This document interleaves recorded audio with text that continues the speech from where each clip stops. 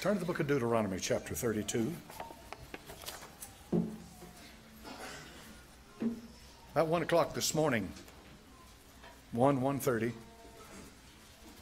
the uh, destroyer came into my bedroom and he said, I'm going to kill you. And uh, I said, Lord, my life is in your hands, not his. But I went all night long and I probably got maybe one hour of sleep. I had a, I had a struggle last night, very similar to what happened to me at the Kidron Valley right before I came back to the States and had that experience on the back porch. The devil tried to kill me there too. No question about it. Now, a lot of folks, you know, they don't believe in stuff like that, but I'm not here to try to persuade you one way or another. I know what happened to me last night. I've been at this a long time. And I knew that uh, I wasn't going to be able to get up and preach what I'm going to preach to you this morning without a fight. I've prayed about this two or three times this past week, and every time I prayed, God reaffirmed to me, This is what I want you to preach. And I said, All right, Lord. And the, the fighting's over, and the struggle's over. I want to make sure this is it, so I want to preach what you want me to preach. But once that happened, then Satan came. And he told me this morning, I'm going to kill you. I'm going to kill you. And he came into my bedroom and he was going to kill me. Greater is he that is in me than he that is in the world. Look at verse 22, Deuteronomy 32, verse 22. For a fire is kindled in mine anger, and shall burn unto the lowest hell, and shall consume the earth with her increase, and set on fire the foundations of the mountains. Father, Lord, you know I'm just your messenger. That's all. That's all I am, Lord. That's all I want to be. I ask you to use me now, Father, for the glory of God and thy holy name. Amen. You can be seated. The Bible said it's appointed to men once to die, and after this, the judgment. Death assuredly is going to come to you as it does to me or anyone else on this earth. It stalks us. David said, I know that there is but a step between me and death. I realize that. And I know the greatest thing you could ever do in this world is prepare for that moment that's going to come upon you. As sure as you sit there and you breathe this morning and watch me, you're going to die. Some of you, when you die, you'll be carried in the presence of the Lord. To be absent from the body is to be present with the Lord. That's a wonderful thing. That's something to rejoice about because it's a blessed event. Precious in the sight of the Lord is the death of his saints. Some of you, though, you'll find yourself in shock You'll find yourself in a place you never thought that you'd ever be. You'll find yourself in a place that you didn't think existed. You will be in a state of absolute shock and amazement because you'll find yourself falling into the bottomless pit. That's going to come to some of you, and when your soul and your spirit leaves your body, you're going to find yourself in a place of horrible torment and damnation. It's called the bottomless pit in Revelation chapter number 19, 9 rather. When you find yourself in this bottomless pit, you'll find yourself falling, and all around you will be falling. As a matter of fact, the whole world that you inhabit at this time is going to be going downward, downward, and deeper and deeper into the bottomless pit. The bottomless pit in the Bible is called a place of fire and gnashing and weeping and wailing and gnashing of teeth. It's a place that you don't want to go to. But as sure as you hear me this morning, you're going to go there if you don't know the Lord Jesus Christ. You're going to find yourself falling head over heels. Down you go, deeper and deeper and deeper into a bottomless pit. Some of you will say this has got to be just a horrible dream. When you find yourself there, you'll say, I'm going to wake up from this. This can't be real. This can't be what's happening to me. I'm going to shock myself somehow or another. Let me wake up. But you can't wake up because what's happening to you is a reality. And you're there. And you can't tell anybody. And you can't argue about it. And you can't do anything to change it. Because now you're dead and you're gone and you're falling into a bottomless pit. Down you go deeper and deeper and deeper into the depths, into the belly of hell. And there, my dear friend, awaits you the destruction, damnation, and torment that awaits all who reject Christ Jesus, our Lord.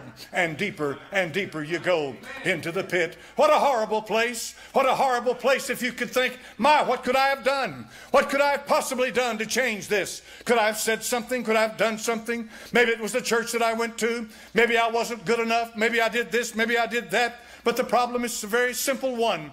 The only thing that can keep you out of this pit, the only thing that can keep you from hell, is the Lord Jesus Christ.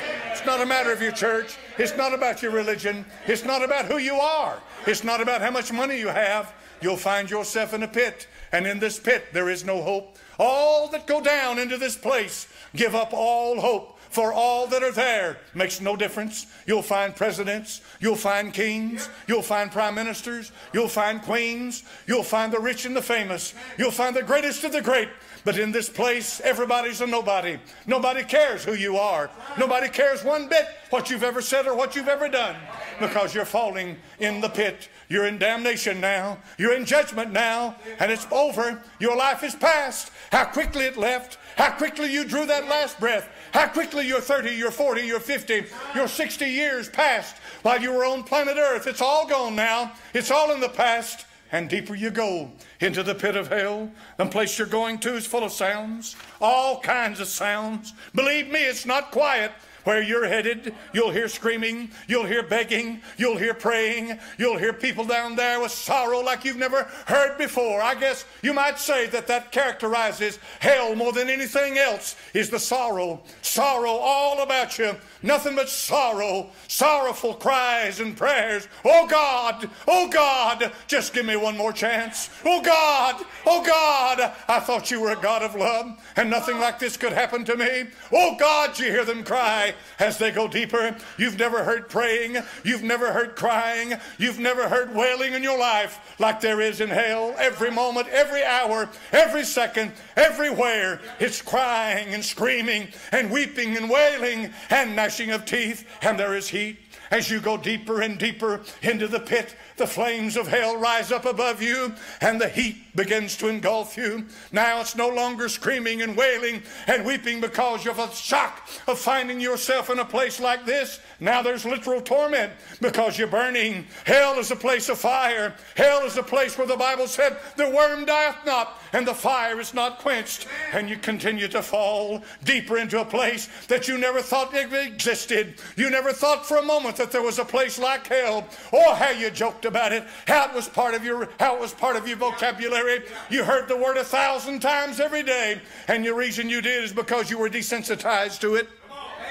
Since everybody's using the word, it no longer has the power and meaning that it once had. For hell is a real place. My soul, my soul, if it cries from hell, what could be worse than that? My friend, tell me today, what could be worse for you than to find yourself falling head over heels and burning and screaming as you go down into hell? You say, Preacher, prove to me there is no hell. My dear friend, one second after you close your eyes in this world, you'll lift them up in that place. I don't have to prove it to you. It's inevitable. It's waiting for you. And my dear friend, hell has the upper hand, for it's been there, it'll be there, and your life is just a fleeting vapor. It's here today and it's gone tomorrow, and much quicker than you think you could be falling into the pit of hell. Oh, the sounds of hell. Can you imagine the preachers in hell that are saying, I preached in your name, I did mighty wonderful things in your name,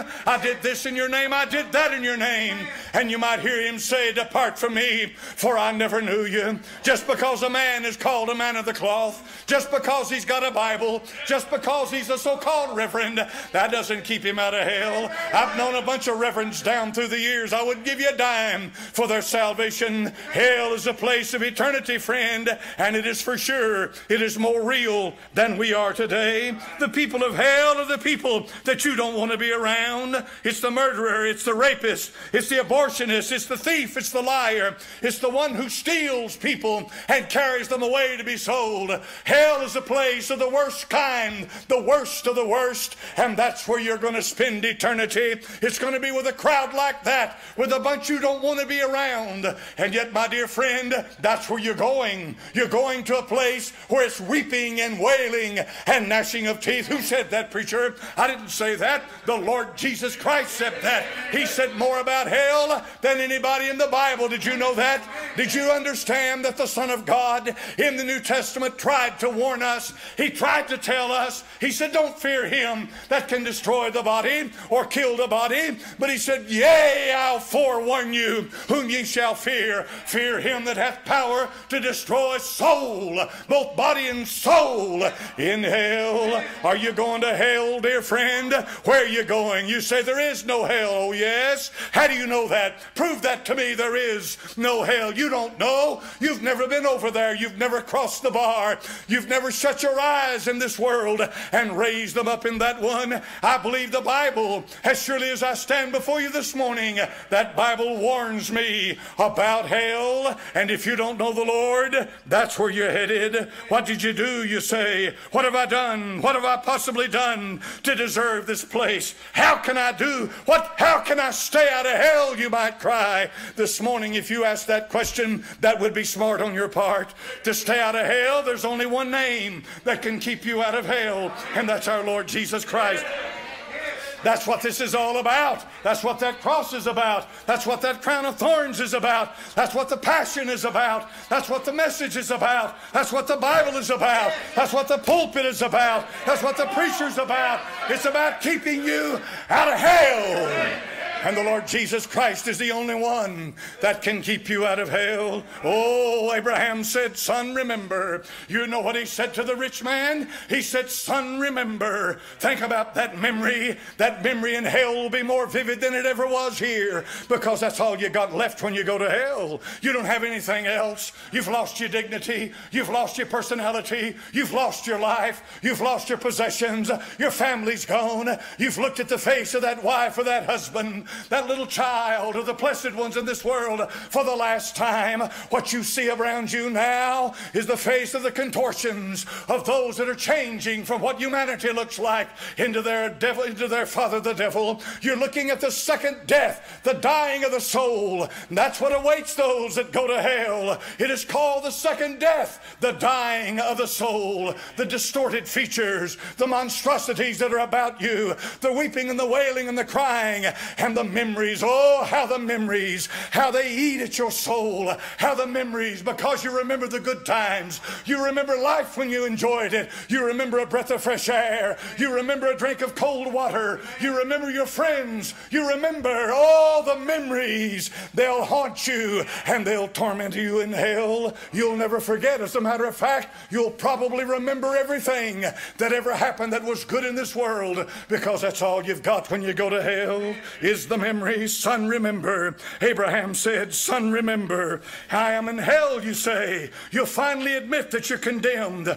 You finally admit that you're in a place now that you can't change. There's no argument in hell. There's no debating in hell. There's no papers written in hell. There's no religions in hell. There's nothing in hell but condemned sinners. And they're screaming every moment that they are existing. And in hell they burn and they cry and they weep and they wail and they gnash and their teeth, and you continue to fall deeper and deeper and deeper. When you think it is the worst it could be, it gets worse. When you think it's as hot as it could possibly be, it gets hotter. When you think you're as far, far from God and far, far from your loved ones, you continue to fall. It's called the bottomless pit for a reason.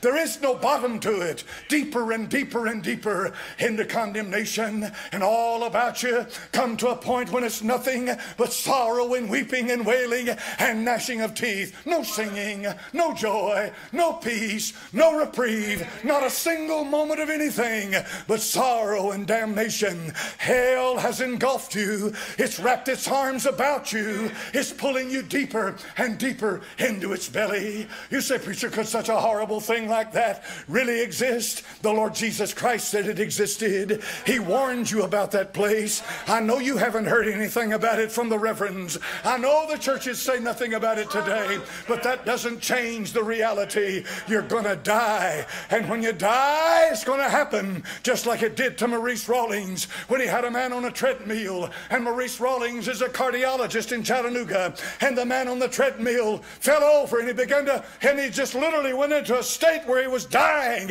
And the, and the preacher and, and, the, and, the, and the cardiologist brought him back. And when he brought him back, the man said, Don't let me go. Don't let me go. Go. I'm burning, I'm burning, I'm burning. Who made that up? Where do you think that came from?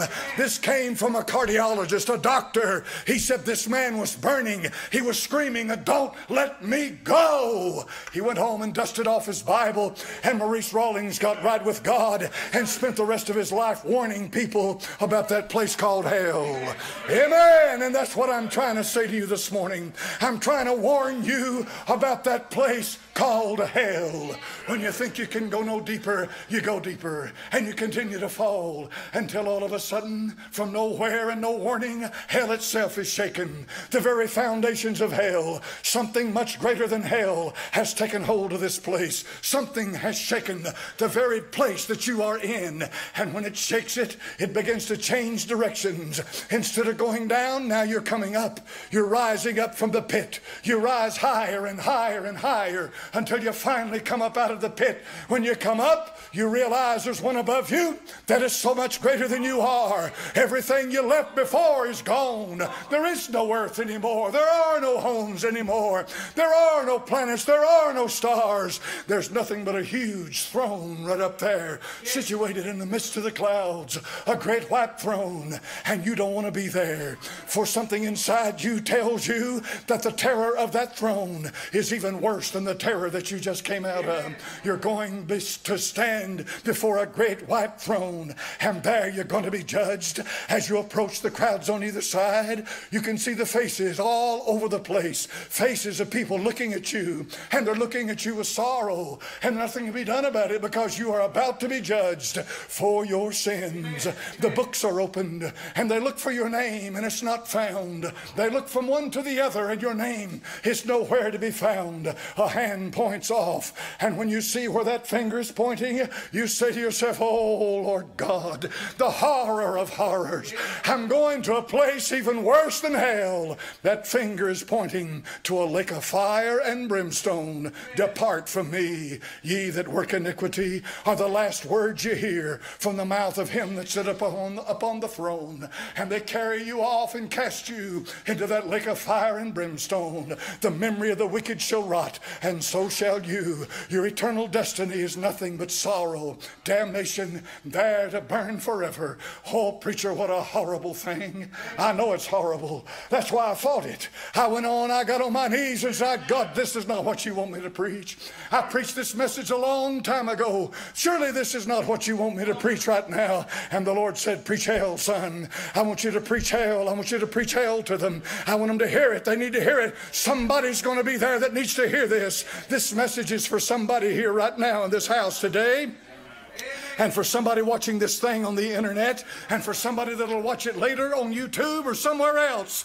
This is your final warning. Take it to heart. You may die tonight, and if you die tonight without the Lord Jesus, you're going to a devil's hell. The greatest tragedy of hell is not that people are there. And it's not, my friend, that they're there with no hope. The greatest tragedy of hell is the simple fact you don't have to go. You can make a choice today. If I were you, I'd get up out of my seat. I'd run down here. I'd fall down here in this altar. I'd take hold of that. I'd, I'd, grab something. I'd take the Bible. I'd hold it to, near to me. I'd pull it next to my heart. And I'd say, Jesus, save me. I don't want to go to hell, Jesus. Save my soul. Would he save you, preacher? Yes, he'd save you. That's what he came for. He came to save you. Why don't you do it? Why don't you get up from where you are? Why don't you come down here? I prayed with that young woman right over there, and I want you to pray for her. She's talking to God about her soul.